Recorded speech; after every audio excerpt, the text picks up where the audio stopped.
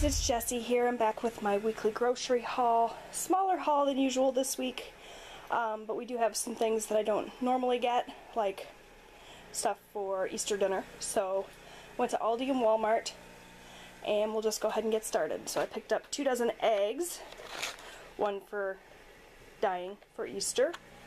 Picked up a pack of the Fit and Active cheese, some french fries, grabbed a bag of this chicken lo mein, which I just realized is open. Hopefully I did that. Um, some mixed vegetables, some taco seasoning. I got some of this light whipped topping, a couple of bags of baby carrots, some pudding mixes to make banana pudding for Easter dessert. Got a can of cream style corn for a shepherd's pie I'm going to make this week four boxes of macaroni and cheese for my kids. They're going to be off school for spring break, so they're going to need lunches.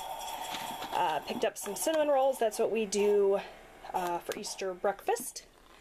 I got my husband some more of these crunchy granola bars. Vanilla wafers, that's for the banana pudding, as are the bananas. Got a box of fruit rounds for the kiddos um, some flour tortillas. We're going to make some chicken fajitas this week. I got some pretzel sticks, um, a loaf of the split top wheat bread, ham, that's for Easter dinner, and I believe that is everything from Aldi. Nope, I lied. We have a bag of potatoes here and a thing of paper plates. So that is it from Aldi. Now we'll move over into what I picked up at Walmart, just a few things. So I have the Italian Sweet Cream Creamer, the sugar-free. That's what I use in my coffee. A couple of Dannon Light and Fit Greek yogurts. So I bought the toasted marshmallow and the toasted coconut vanilla. Some Triscuits, Great Values variety of Triscuits, and Great Values version of Wheat Thins.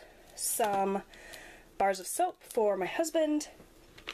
Um, some fat-free cheddar cheese here picked up a box of corn dogs. We've got, we're well into track season now, so we've got track meets and things.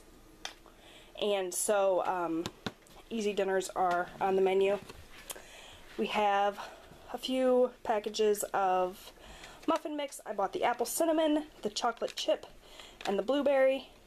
I got some butter, a bottle of the Diet Right soda, and lastly, a bag of potato chips. So that's it for my grocery haul this week. Thanks so much for watching, and I'll see you next time. Bye!